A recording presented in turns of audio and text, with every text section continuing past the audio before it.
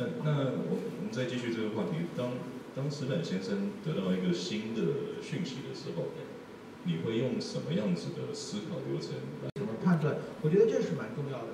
就是说，因为我们做媒体，我们整天要判断这个，如果出现一个大事情的话，这个是真的是假的。呃，我现在就是跟大家分享一个怎么判断假新闻的呃方法。就是第一呢，所有的新闻，我们受过我们媒体的职业训练的话，一定要有五 W E H，就是说时间、地点，这个各方面的五个 W，这个大家都都知道 E H 怎么样？这是新闻的六大要素。我们写文章的时候，有的时候暂时这六个要素还凑不齐的时候，可能先空着一两个，先把消息发出去。但是说我们一定在第一时间把这东西补上。那么如果说你看到一条新新闻，这六个要素不全，而且又过了好长时间还不全，这个一定是假新闻。比如说这次美国大选的时候，有人传出在德国的法兰克福。美国的军队去袭击了一个选举的一个什么一个站，然后是好像打死几个人，把一些选举的作弊的证据拿拿回去了嘛。这条消息传出来第一天我们不知道真的假的，到了第三天，这六大要素还不齐全，到最后弄不清主语是谁，到不清弄不清时间是哪一天，这种消息就可以判断是假的。还有前不久传出这个。朝鲜的金正，北韩的金正恩死死掉了，这个也传了很久，传了很久的话，也是当你看到已经过两三天了，它这六大要素还不齐全，这个基本上你可以判断。所以所以说类似这样的消息，现在网络非常非常多的，我们就是尽量不要被骗。嗯，了解了解。这个在场的学生也可以记得，这样子的思考模式可以是用在自己的研究上面。呃。那石板先生能不能想出人生某一两件事情发生了，对自己的价值观的冲击或是影响非常非常大？像像我举个例子，我我高中的时候，我多读了一年高中。其实我高中的时候，我有一年是完全没有去上学，就每天流浪街头，呃，出去也就是打打篮球、打打撞球，然后就是做一些不正经的事。可是。这一年让我思考了我人生很多事情。我不需要每天听老师在那边对着我吼、对着我叫，我就思考说，我今天做了什么，我做的对不对？我觉得我该不该延续？所以这这一点对我的人生价值观的形成很重要。那石本先生有没有类似这样子的经验？也就是我，比如说我刚到日本的那第一年，日语也听不太懂，然后在学校里。就是说，工作就是说学习也跟不上，学习成绩也很差。那一年的话也是对我来说是非常非常苦恼的一年，但是也是思考了很多很多问题的一年。然后后来我大学毕业以后，没有立刻工作，到了松下正经塾去读书，继续读书，这个也是也是非常不安的一年。就是说，脱离了日本的主流社会，就是。多多多大年纪毕？所以日日本的很奇怪，日本的如果说你大学毕业去美国留学，拿一个博士回来，这在日本不不是加分的，是减分的。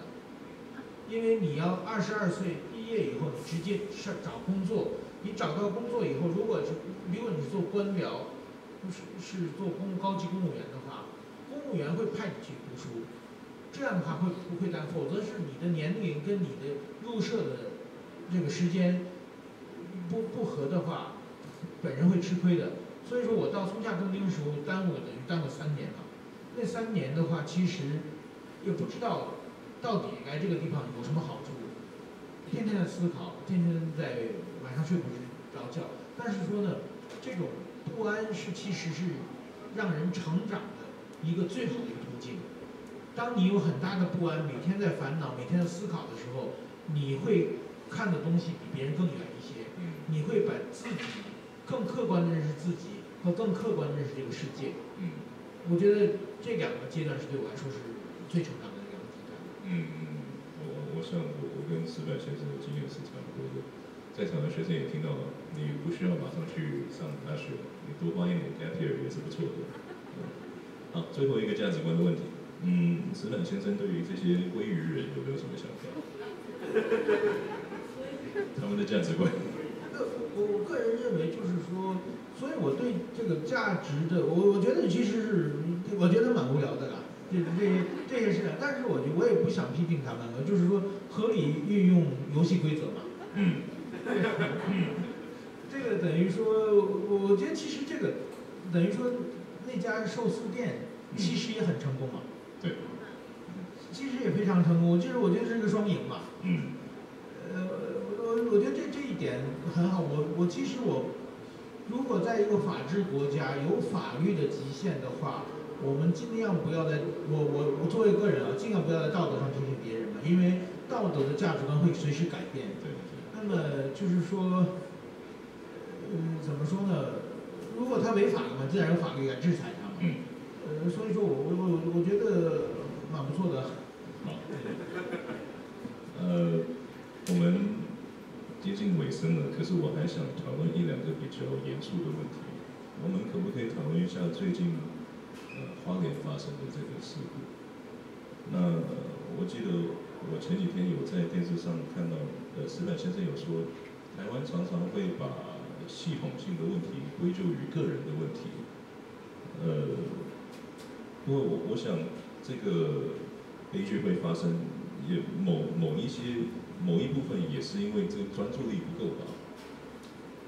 呃，我我觉得专注当然不够了，这个我觉得。过去我在日本采访了一个呃一个消防署的署长，呃当时在我我我住的地方在在熊我我负责的地方是在日本的埼玉县一个乡下，有一场大火，然后呢就是因为漏电产生的，就是电电源那个插座太太旧了，而且用很多的插座插在一起漏电引起一场大火，然后呢呃我后来就是有很大的伤亡，后来我采访那个消防署的署长。他给我讲，他说火灾的话，至少要有七个致命性的原因凑在一起，才能发生一场火灾。嗯，他说你们光写光说这个漏电，这个当然是一个问题，但是说如果光漏电不会发生火灾。嗯，比如说附近放的东西呀，什么各种各样的原因凑在一起，就有七个疏忽，最少有七个，可能更多，凑在一起的时候才能发生一个火灾。那么花莲这么大的事故。绝对不可能是单一原因，那么一定有很多很多系统上的原因，原因有很多很多政治上的原因。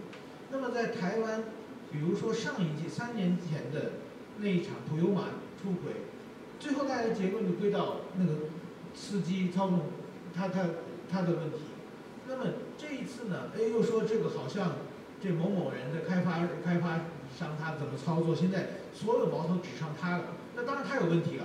他有问题，但是说有很多很多更严重的问题没有被被忽视，没有被检讨，这样的话悲剧还可能发生，因为这种奇奇怪怪的人会经常出现的。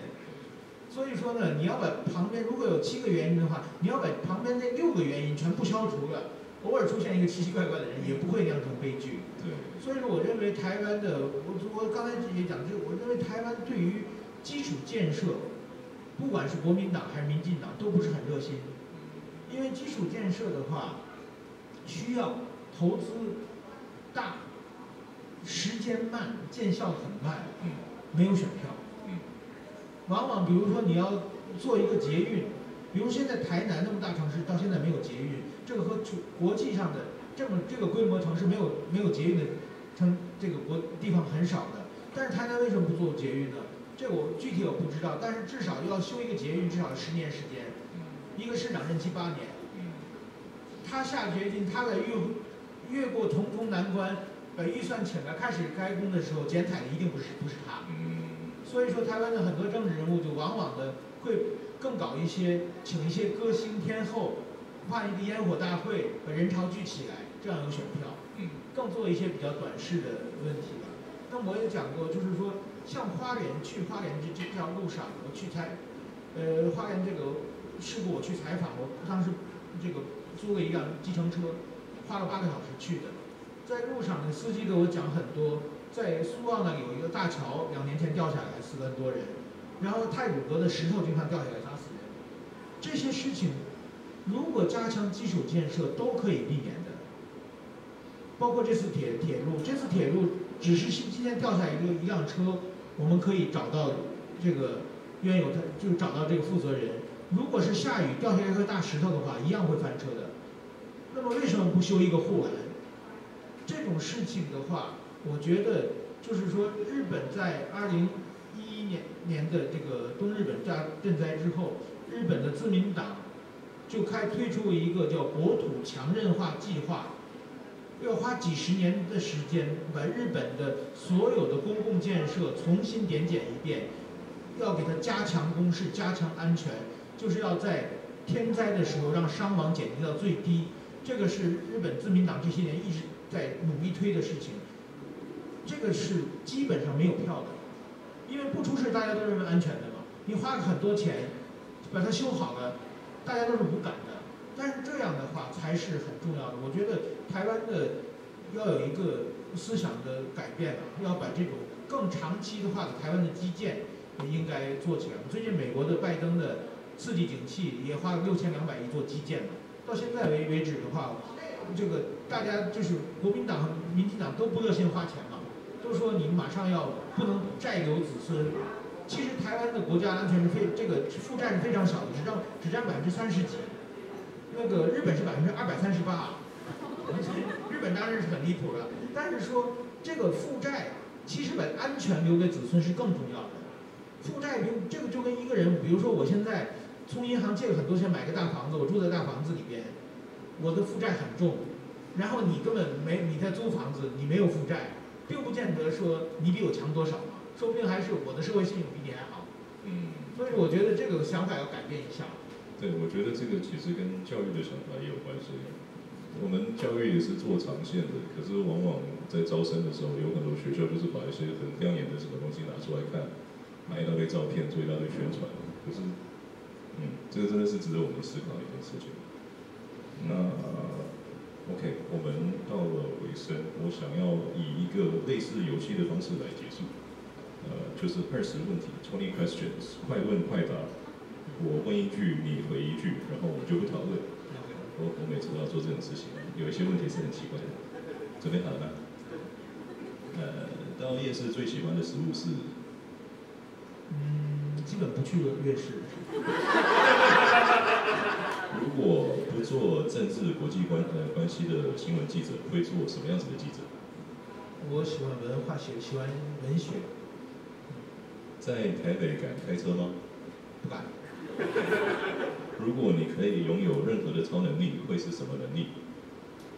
呃，我喜欢能够就是说透视别人的那个笔记本上写的什么内容，这个对记者很重要。当你在坐飞机的时候，最忍受不了的事情是什么？坐什么？坐飞机。坐飞机的时候，我觉得还好啊，都可以忍受。小孩说他想要宠物，你会给他们一只？不会给。我 我实在是很想问下去。呃，僵尸末日来了，你除了枪之外，你会希望有什么样子的武器？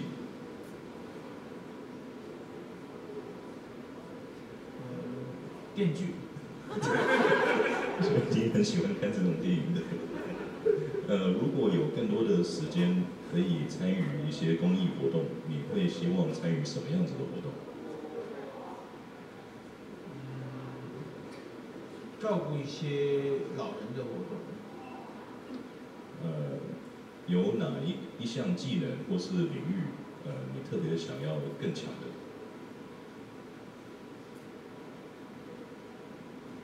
我希望能够。就是短时间写出很多的，提高自己的写作的速度。如果可以做任何一个运动项目的职业选手，你会选哪一个运动？呃，桌球。现在面临着世界的最大的威胁是什么？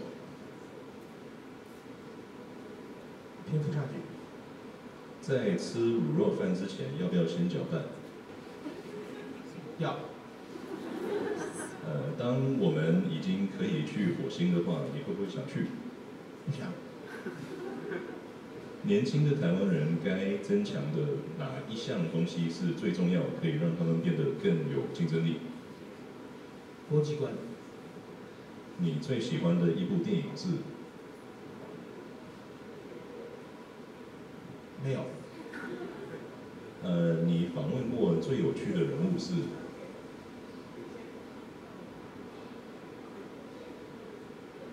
一个小学生。你觉得我会不会是一个好的新闻记者？对。嗯，还不错吧。我下一个该访问的人会是谁？我该访问的人是谁？在台湾吗？嗯。柯文哲。柯文哲，好，我马上去找。好，没问题。OK。接下来我们会有一点点时间可以给当场的观众发问。I I don't think we need to do slide up. We'll just stand up and ask. Okay. All right, come. 所以这个这个麦克风会流传，然后只要有人想要发问就请举手。呃，当然你们会想呃询问石本先生一些事情，如果想要问我的话也可以。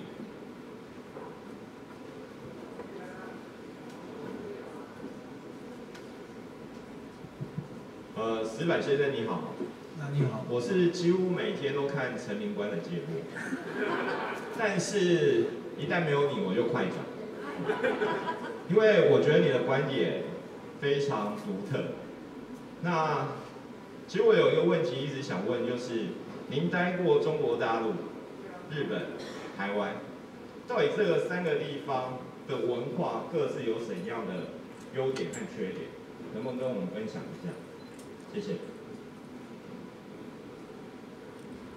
中国的文化其实就是说，它的呃中华思想很强烈的，自己的自视优越感非常强，对别的文化不尊重。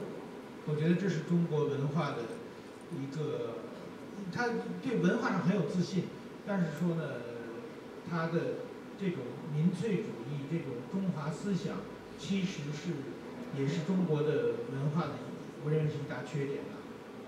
呃，那么日本的文化是单一性太强，然后就是说对异文化的接受程度，它不是像中国一样从下面鄙视你，想改造你，但是说对别的文化的拒绝性也是蛮蛮强的。那么台湾呢，其实台湾是包容性很。各各种文化都能够共存在一起啊，但是说有的时候我觉得就是说看事情的格局并不是很大。比如说我在台湾，我我讲中国就是搞因为中国问题嘛，在台湾的电视上那些中国问题的专家，他们基本上讲中国观察中国是两个点，一个是台商，一个是台办。台商就是说，台商在中国经济里面也非常非常一小部分。那么台办在中国的政治里面也是完全微不足道的一的一方面。但是他们只关心中国的对台湾政策。那么，比如说，美国也只关心美国对台湾政策。那日本也不只关心日本对台湾政策。那比如说中日关系怎么样？基本基本上大家都也不是很了解，不是想不是很想了解。那所以我在陈庭观上，如果我讲中日关系的话，基本上那个点击率都很低。所以说，我觉得应该再高一点的话，因为台湾这种非常特殊的国际地位的话，大家应应该更能够有一个国际视野来看台湾问题的话，我我想可能会更全面。谢谢。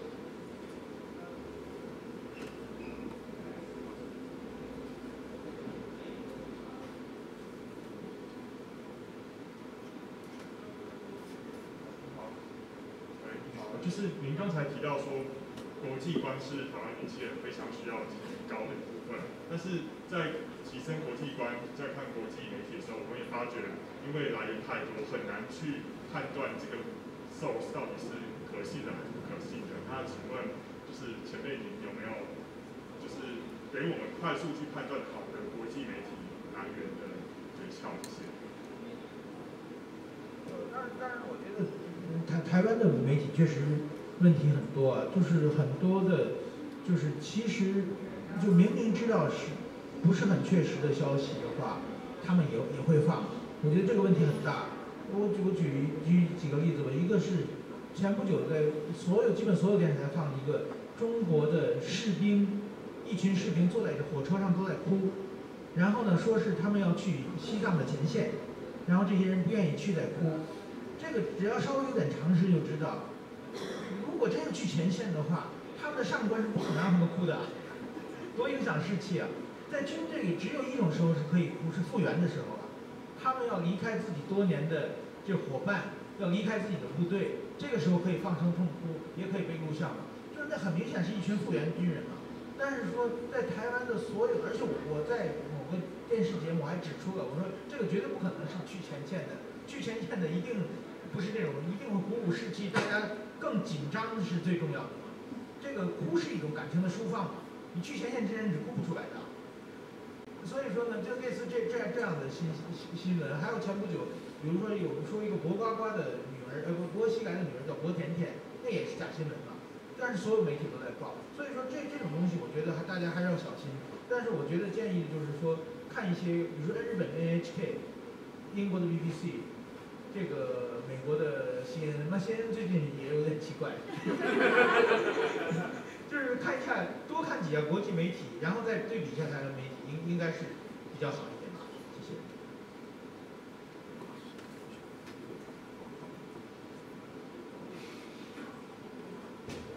谢谢，哎，对，要见面了。不好意思，前半段我没有听到哈，我想我的主轴，就就就这样讲的。我的主轴就是说，你讲到的自我认同哦，哎，自我定位。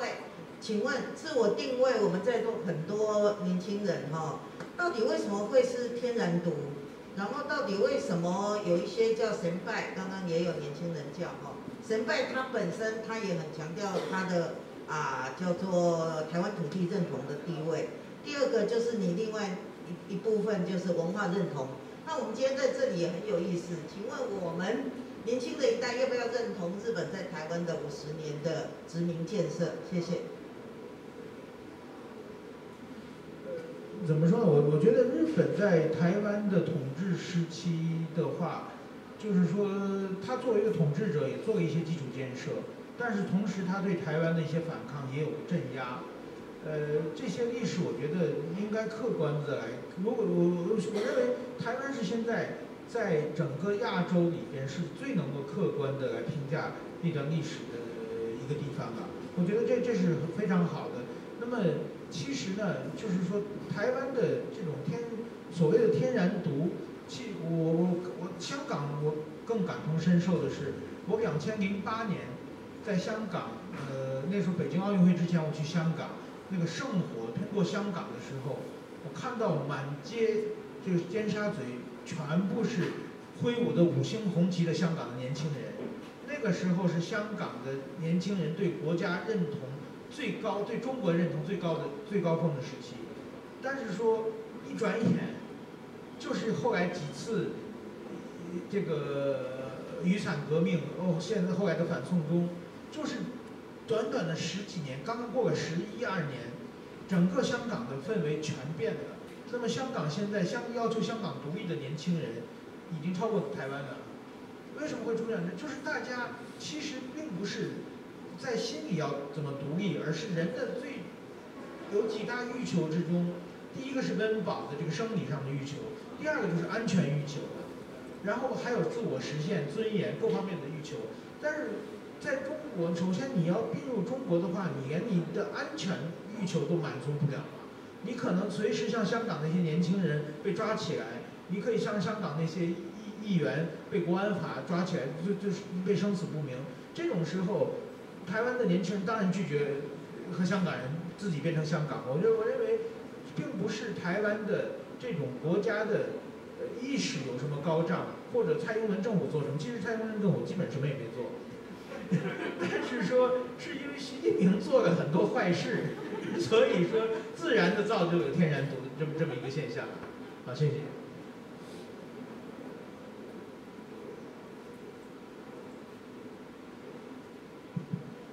还有任何问题？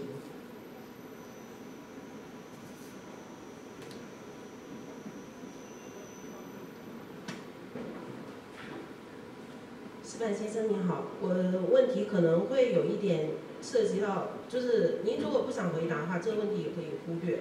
就是作为松下正金属的学生、毕业生，大部分都是从事政治部分的工作。那我想请问的是，您曾经在日本有没有想要呃，就是往政界去发展？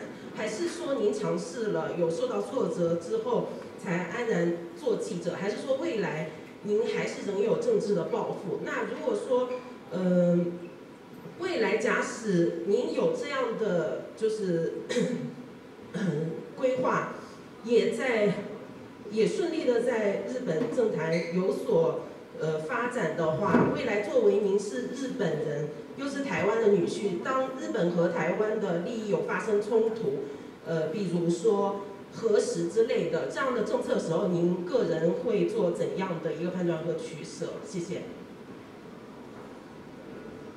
我首先说一下，就首先我自己是当年是非常想从政的，呃，也自己那个时候也在我在千叶嘛，我在千叶也好像组织类似我的后援会之类的，也打算出来选举，但是后来呢，就是说。我们正经署很多学长都出来选举嘛，我们求生都去帮助他们，然后就发现这些学长太不学习了，基本上就是说，因为政治人物非常忙嘛，所以说呢，基本上就是不学无术的人都能高票当选，然后呢，他们到国会能做什么事情，其实也是就是有有极限的。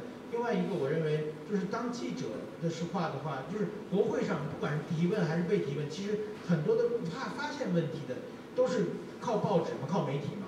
所以说，一个媒体人可能对社会的影响要比一个政治人物更大。这个是一个，我觉得是一个想法。后来我做做一个媒媒体人，当然说就是说，怎样能够在政治上有想法的人，其实就是往往的希望。自己的想法能够，就是现在这个社会上这种游戏规则、这种制度、这些问题有问题，自己的想法能够自己能提提供一些更好的东西，这是每个人从政的动机嘛。然后发挥影响力，但是我现在作为媒体人，我觉得也可以从我这个角度发发发挥一些影响力，所以暂时是没有这个。怎么说发挥没没有从政的打算了？呃，那么刚才您讲到这个核实的问题，就是首先我对核实这种说法，我自己是并不是很喜欢的，因为就是说在科学的检证之中，日本的福岛县的食品从来没有一次就是说超过这个放射这个辐射的标准的，所以说呃这个这个这种东西完全是。台湾的一个政治上的一个炒作的问题，他把这个这种东西明明没有污染的食品，给它命名为核食，然后通过炒作著名投票的方式，公民投票的方式，然后利用民粹把它否定掉的话，这种东西对台湾的进入国际社会是一个有非常非常负面呃影响的，只能是对台湾的，呃说句老实话是。把台把把台湾政治扯后腿的问题，那么比如说美猪问题也是一样的，美猪问题就是说它并不是一个食品安全问题，而是一个呃就是政政治操作的问题嘛。这个我觉得台湾如果想进入国际社会，所有的东西一定要国际的规标准按同样的规则来，这是台湾的一个标准嘛。你不能自己设定规则。我常举就跟打麻将一样嘛，你不能在自己家里打麻将。说那个妖姬有公的有母的，只能公的能胡，母的不能胡，那样就没有人跟你打麻将了。对，你要参加麻将比赛，一定要跟大家同样的游戏规则来做嘛。